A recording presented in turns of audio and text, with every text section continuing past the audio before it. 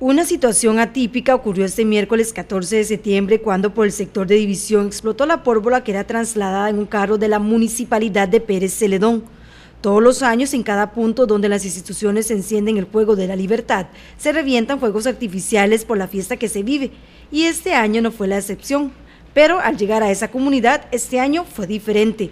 El alcalde Jeffrey Montoya dijo a SN sus noticias que él estuvo en el lugar y permaneció ahí mientras se realizaban los trámites respectivos. Eh, nos traiciona un tanto la, tradición, este, eh, la confianza de tantas veces que se han realizado ese tipo de actividades, que son actividades, recordemos, eh, pues coordinadas todas las instituciones a través de la municipalidad, a través de la comisión cívica, pues ahora se pues, procede con el debido procedimiento de revisión y por parte de la municipalidad pues a dar las respuestas que correspondan y las documentaciones de, de lo que fue el procedimiento este, a partir de lo que ahí se invirtió. El vehículo fue trasladado al plantel municipal y se está a la espera del avalúo que hará el INS sobre los daños. Ahí se tiene que proceder con los avalúos respectivos junto con el INS eh, y en lo que corresponda para determinar los, los daños eh, si efectivamente son totales o bien cómo puedan ser estos catalogados. Decía usted que sí estaba, se observa a simple vista deteriorado. Sí, pues eh, es impresionante el estado que queda, ¿verdad? Y esperemos el evalúo por parte de los,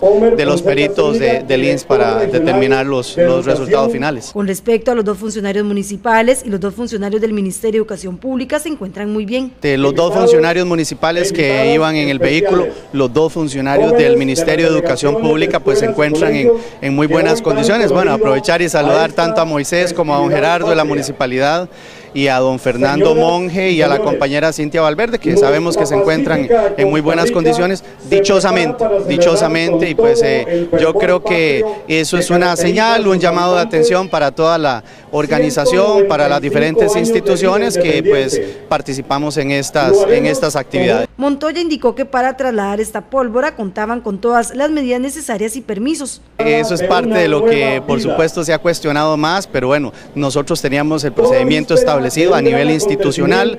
Eh, todas las instituciones ahí nos resguardaban lo que era el vehículo nuestro a través del Ministerio de Educación, a través del tránsito, a través de Fuerza Pública. Entonces, bueno, eh, nosotros tenemos un procedimiento establecido y es lo que por supuesto siempre se, va, se nos va a cuestionar más, pero ahí está la documentación. El alcalde aclaró que por dicha no pasó a más y que la población puede estar tranquila de que se contaba con todo lo requerido.